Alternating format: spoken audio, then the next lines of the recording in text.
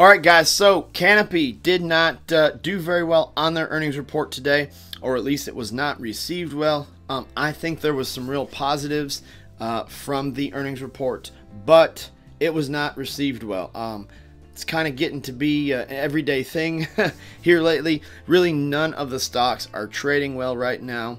I think this one was a little glorified. I think it got a little overly beat up today.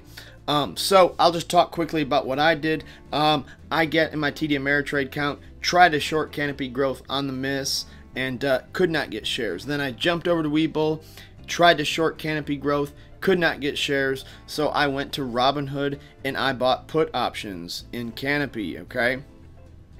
Because I think, guys, right now in the short term, Canopy is going to feel the pain a little bit. Uh, let's jump over and take a look at the report. So if you want to look at these, uh, you know, earnings reports objectively, this is awful. Okay, this is absolutely terrible.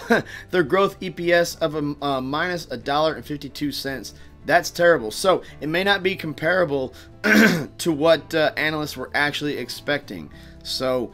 Um, you know, like I said, analysts know Canopy growth is fundamentally overvalued, so they actually lower expectations.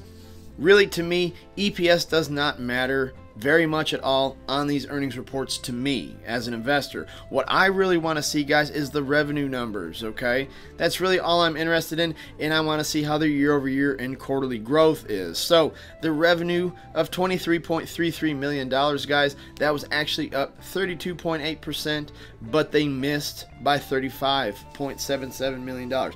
That is a pretty big miss, okay? I am not going to lie. Um, that that's a pretty nasty miss right there. Of course, there's a lot of comp- incoming companies, um, you know, moving into this space that are competing directly with Canopy Growth. But uh, you know, um, I think Cron reported better, Tilray reported better, and Aurora all had superior uh, earnings reports.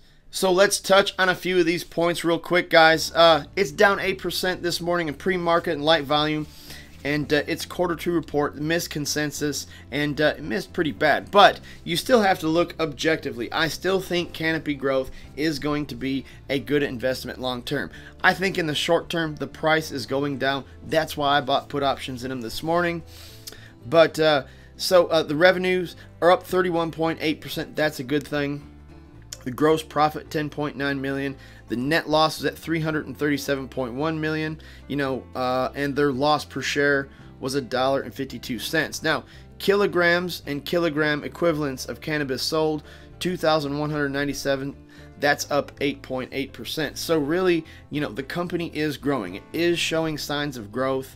Um, you know, it's not like uh, this is a dead company, but uh, the only real issue I have with Canopy, guys, is that you know the thirty-five million dollar miss uh, on revenue. Um, you know, uh, they that that from an investor standpoint, that is insulting. Okay, that is insulting. All right, guys. So, um, what the day would not be complete unless we talked about MagneGas, guys, and uh, their earnings report. That is a stock uh, I have covered extensively on this channel.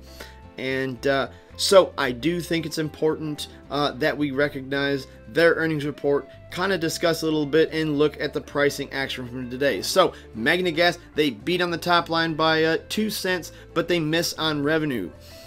So a top line beat, that would suggest they're undervalued, but uh, you know, beating on revenue, or in this case, missing on revenue, um, now that adds the question uh, that they probably aren't undervalued. So the bar is set very, very low for this company, guys. Okay, they're expected to report 2.6 million dollars of revenue, and they missed that amount by uh, uh, half um, half of a million dollars, so roughly five hundred thousand dollars. But when all you're asked is to report 2.6 million dollars, $500,000 is a lot of money, and this is a pretty big miss. Okay, so they report a Q3 revenue growth of 195.9.5% year over year. So to 2.6 million dollars, guys, that was dr driven largely by new acquisitions uh, primarily the Trico welding supplies, which generated 1.26 million.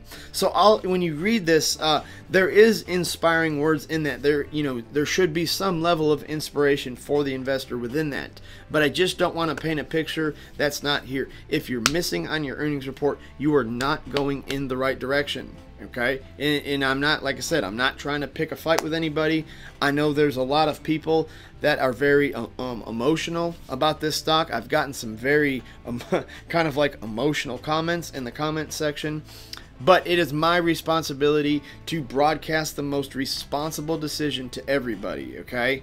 Um, and it, it, would be irresponsible of me if I said, "Hey guys, I think this stock's going back to two or three dollars." You know, I think that would be irresponsible of me. I have to shoot you straight. Um, you know, this was not. Uh, this was frowned on quite a bit by you know investors today. Okay. Um, but you know, you do if you do want to look at this earnings report somewhat objectively, you can lean on the fact that the quarterly revenue growth was 195.9.5%. So that is something to point at and say perhaps they're moving in the right direction. Now, efficiency kind of comes into the question. So they did report an operating loss of 3.55 million compared to 2.29 million a year ago. So obviously, as you make more money, um, you're going to create more loss, and the loss was considerably more than a year ago. Okay, operating expenses were up 73.5%. Obviously, that's also going to happen, and uh, Sales were 175.1% down from 278%. So sales actually drifted down. Okay, um, they have a cash balance of 1.84 million as of September 30th, 2018. So, um, just my quick two cents, guys. Make sure you're using a very, very small amount of money uh, for this stock, and it's very good day trading stock. I will you know, testify to that immediately. This is great stock for day trading. When they dip down really hard, you can throw a little money in there. Sometimes you can get 100% return or 50% return in just a matter of seconds. So, uh, very good day trading stock. But from the investment standpoint, guys, it really not heading in the right direction. Like I said, sales were 175.1%. Now that's down from 278%. So sales are trending down. Okay and uh, losses are going up and it's not making sense on the balance sheet okay they missed by $500000 and uh, you know i just hope that uh, the next earnings report is a lot better than this one okay i don't even think they issued guidance if they have issued guidance yet i have not found it but uh, that'll be something I'll keep an eye on. And guys, probably here in the next couple of weeks, I probably will do another uh, complete stock analysis on uh, MagneGas and uh, you know really give them another good look down going into next quarter's earnings report. So anyways guys, thanks for watching the video. Drop me some comments and uh, have a great night.